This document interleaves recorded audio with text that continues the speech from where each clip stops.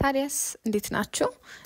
ይሄኛው off shoulder picture ላይ ያያችሁትን ልብስ ነው ዛሬ የማሳያችሁ pattern አወጣጥ።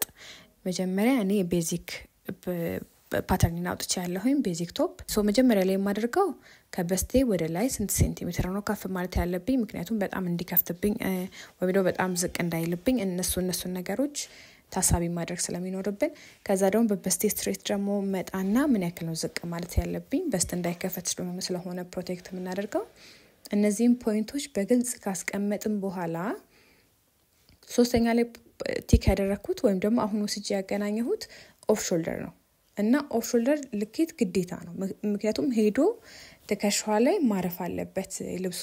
ስለዚህ off shoulder ኣችሁን ትለኩና አንድ አራተኛ እየሰራችሁ ስለሆነ አንድ አራተኛውን ትወስዳላችሁ። ከዛ ልክ እኔ እንዳሰመርኩት ቀጥ ያለ መስመር መሆን አይችልም። ልክ እኔ እንዳሰመርኩት V ነገር ነው የሚሆነው። ምክንያቱም ቀጥ ካለ እጇን አያንቀሳቀሳትም። ከዛ በኋላ የምንፈለገውን ቅርጽ ልክ picture ላይ እንዳየነው አይነት ቅርጽ እንዲመስል አድርጌ ያደረግኩት። ይሄንን ካደረግን በኋላ ብዙ ጊዜ basic ኡን dart ነው የምንይዘው እና basic ኡ dart ላይ add add እናደርጋለን። አንዳንድ ሴንቲሜትር አካባቢ add ያደረኩት ሁለት ምናምን add ማድረግ እንችላለን። እንደ bra መቶ ቁጭ ማለት ስላለበት ምክንያቱም የሚይዘው ገመድ ምናምን ስለሌለው dart add ካላደረግን ውልቅ ይልባታል ወይ ደግሞ ጎንበስ ስትል ይከፍትባታል።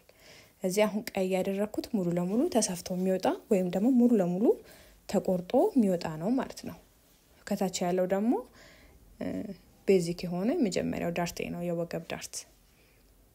so ይሄንን ካደረግን በኋላ ያኛው የላይኛው part blue part ማለት ነው። blue part ተደራቢ ነው። ስለዚህ ተደራቢውን ለብቻው ነው የምናወጣው። ለዚህ blue ን part dart ኡን ለብቻው አውጥታችሁ ስፌት የሌለው ማለት ነው መሀል ላይ dart ኡን ለብቻው አውጥታችሁ ነው የምትቆርጡት። መጀመሪያ ግን ከልብሱ ላይ trace አድርጋችሁ ነው የምታወጡት። ከልብሱ ላይ ቆርጣችሁ አታወጡም። trace ካደረጋችሁ በኋላ ልብሱን basic የሆነችዋን body ዋን ማግኘት ከፈለጋችሁ ግን እጅ ጋር የገባችሁ ትርፏ part አለች? እሷን ቆርጣችሁ ካወጣችሁ በኋላ የተረፈው part ዋናው ከላይ ተደራቢ የሌለው part ነው የሚሆነው ማለት ነው። ስለዚህ እሱኛውን ገበር ከሆነ የምትጠቀሙት በገበር አድርጋችሁ፣ facing ከሆነ በ facing አድርጋችሁ ታወጣላችሁ። dart ኡን ግን body ው ላይ ይሰፋል። ከዛ የ blue part ላይ ግን ተደራቢ part ላይ ግን dart ኡ አይሰፋም። ስለዚህ አጥፈን እናወጣዋለን ማለት ነው። basic ኳን pattern ማውጣት የምችሉ ናቸው ይሄን ማድረግ የምችሉት። ነገር ግን basic ኡን ማውጣት የማትችሉ እናንተ ደግሞ ሌላ ቪዲዮ ሰራላችኋለሁኝ። ስለዚህ በዚህኛው pattern ላይ fold አድርጌ አንዱን part ብቻ ነው ያወጣሁት። ነጩ part ሙሉ ለሙሉ body ው ነው የሚሆነው ከነ blue armhole ጋር ያለውን ሳይጨምር ማለት ነው።